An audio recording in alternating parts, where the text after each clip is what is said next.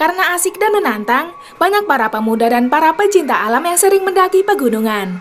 Selain asik dan menantang, para pendaki juga disuguhi pemandangan alam yang indah saat sedang mendaki. Namun beberapa tahun lalu, beberapa pemuda di Spanyol malah dibuat ketakutan saat sedang mendaki di wilayah Catalonia. Eits, tapi sebelum dibahas, bagi teman-teman yang belum subscribe, jangan lupa tekan tombolnya yang ada di bawah ya, biar nggak ketinggalan video menarik lainnya dari channel Fakta Peristiwa. Sebuah kejadian yang cukup menyeramkan sempat dialami para pemuda asal Spanyol beberapa tahun lalu. Kejadian tersebut bermula ketika para pemuda akan mendaki saat malam hari. Saat mulai mendaki dan memasuki hutan di wilayah Catalonia, para pemuda tersebut malah mencium bau yang aneh. Selain mencium bau aneh di hutan, mereka juga menemukan bercak darah dan bulu hewan yang berserakan. Setelah berjalan hingga tengah hutan Catalonia, para pemuda tersebut malah melihat sosok pucat yang berbadan kurus. Sosok pucat berbadan kurus itu bahkan sempat menoleh dan bikin para pendaki lari ketakutan. Ya ampun, kira-kira itu siapa ya? Udah botak, kurus, sendirian di hutan pula.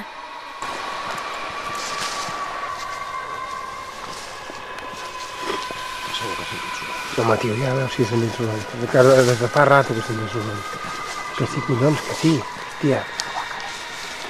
Ascolta. Mi sentono?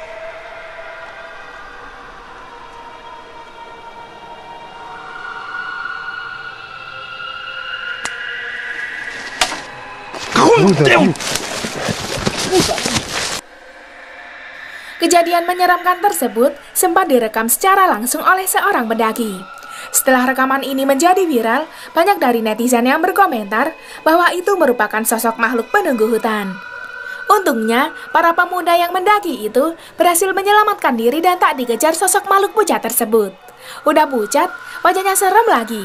Untung aja makhluk itu gak ngejar.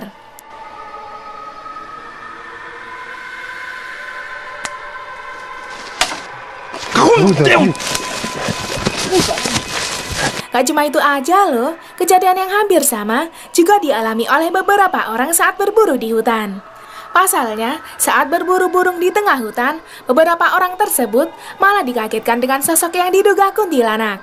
Sosok yang diduga kuntilanak tersebut terlihat berdiri diam di bawah pohon saat para pemburu sedang mencari burung. Melihat ada sosok kuntilanak di bawah pohon, beberapa pemburu itu sontak lari terbirit-birit. Nah lo, kok malah kabur sih om? Kan bawa senapan, tinggal tembak Mbak Kunti aja kan bisa. Siapa tahu jadian.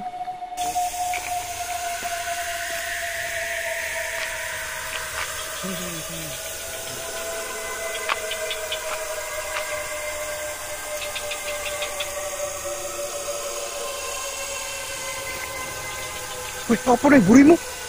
Nih buri, nih buri, nih buri, nih buri.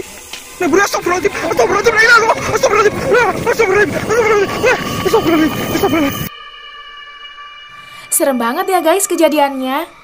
Ternyata hutan juga menjadi tempat tinggal bagi para hantu atau makhluk halus ya. Gimana pendapat kalian?